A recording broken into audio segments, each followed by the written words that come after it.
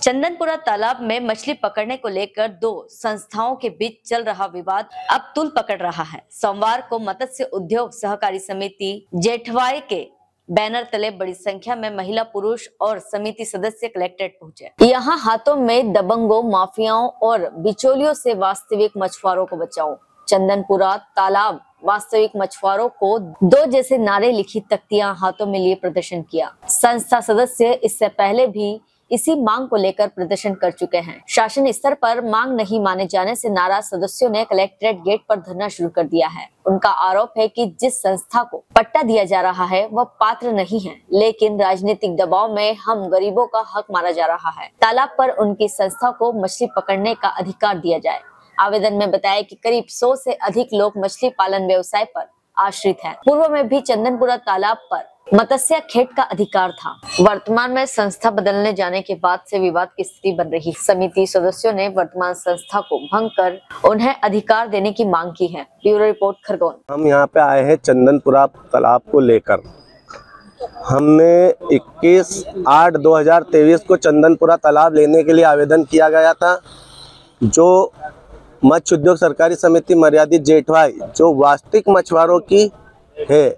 नियम और नीति के साथ, उनके साथ अन्याय किया जा रहा है, जो हम छः महीने से डेली मच्छी डिपार्ट कलेक्टर कार्यालय सारी जगहों पे आ आके परेशान हो गए। हमें कोई ऐसा संतोषपूर्वक जवाब नहीं दिया जाता है और बोला जाता है कि नियम में होगा वो। तो नियम में हम यही तो जानना चाहते हैं कि जो नियम में वो तो पहुंचाओ। नियम कौन सा है? और नियम में क्या है? मछली नीति क्या बोलती है?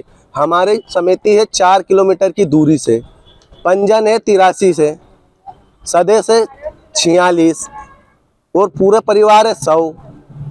आज हमारा जीवन बहुत अंधकार में जा रहा है और कुछ बिचौलिया और उच्च गरी के जो दलाल बोल लो राजनीतिक। इनके दबाव की वजह से आज तक हमें पट्टा नहीं मिल पा रहा है। तो हमें इसलिए ज़िले के जो अधिकारी है मौर्य जी उनसे हमने ये पूछा कि साहब ऐसा कब तक? उन्होंने हमको एक जवाब दिया है कि अभी हम कलेक्टर साहब से बात कर रहे हैं मछली नीति ला के जो भी है वो अभी आपको हम लिखित में जवाब देते हैं। कब कब तक आप यहाँ रहोगे? हम तो साहब जब तक निराकरण नहीं हुआ तब तक सारे परिवार को लेके यहीं रहेंगे? मनोज रायकवार महिला बच्चों और पति पत्नी सभी लोग आए हैं सभी के साथ यहीं रहेंगे तब तक हमारा निराकरण नहीं होता।